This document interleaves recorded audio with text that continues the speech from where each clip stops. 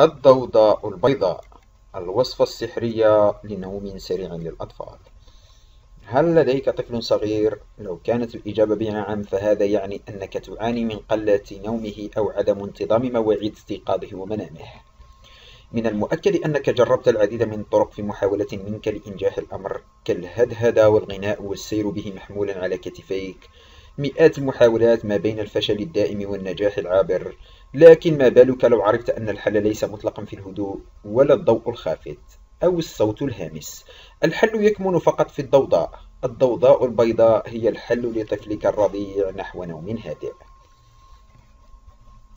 الضوضاء البيضاء هي نوع من الأصوات التي يعتقد البعض أنها ضوضاء مزعجة لكنها تساعد كثيرا في عمليات النوم المعقد لدى الكثير من الأطفال ولدى الكبار أحيانا. فلصوت الغسالة اليدوية سمات التهدئة أكثر من الإزعاج وكثيرون منا يتذكرون تلك الأيام الخوالي حين كانت معظم المنازل تعتاد استخدامها وكانت أطفال البيت وكباره ينامون بعمق في تلك الأجواء والأصوات.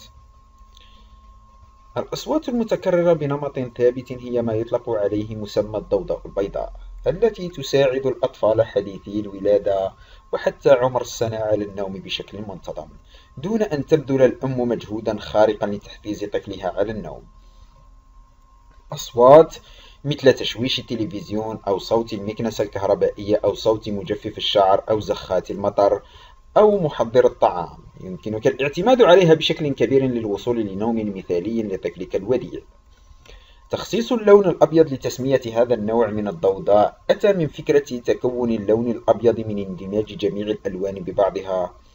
فهكذا هي الأصوات المختلفة الترددات. حين تندمج فيخرج منها ما يسمى بالضوضاء البيضاء. إذا كان هنالك أكثر من شخص بالغرفة كل منهم له صوته. صوت أحدهم يمضغ الطعام والآخر يستمع لهاتفه وآخر صوت شخيره عال. ففي هذه الحالة فإن أضمن حل للنوم هو اللجوء للضوضاء البيضاء وهو التركيز على صوت واحد منتظم والخروج من كافة الأصوات الأخرى. فلو ركزت كافة حواسك على الاستماع لصوت الشخير فإنك لن تسمع باقي الأصوات. وبهذا ستضمن عدم تشتتك في أكثر من اتجاه وتفتيت تركيزك وانتباهك بعيدا عن النوم. للضوضاء البيضاء سحرها الخاص على الأطفال فهي ليست مجرد صوت نمطي يدمنون الاستماع إليه لكن السر يكمن في أن تلك الأصوات تشبه إلى حد كبير الأصوات التي كان كانوا يستمعون إليها وهم أجنة في رحم الأم مثل دقات قلب الأم وصوت تدفق الدماء في الأوردة الدموية وأصوات المعدة والقولون. فهذه الأصوات التي تتقارب مع نمطية الضوضاء البيضاء هي ما تولد ألفة بينها وبين الطفل. لذا يشعر بالأمان عندما يستمع إليها وينام في سكون. ما هي أضرار الضوضاء البيضاء؟ الراحة التي تحصل عليها الأم بعد تنويم طفلها من مزايا الضوضاء البيضاء.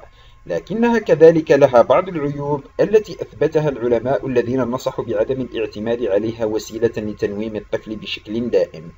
مع مراعاة الاعتماد على هذه الوسيلة لفترات محدودة وبصوت منخفض وذلك لأسباب عدة أولها أنها قد تضر بحاسة سمع الطفل عند الإفراط في استخدامها. لذلك فإن درجة الصوت المسموح بها لا تتجاوز 60 ديسيبلا. كما أن الاعتياد عليها قد يخلق من الطفل شخصا مزعجا في حالة عدم وجودها فلا مجال لنومه دونها.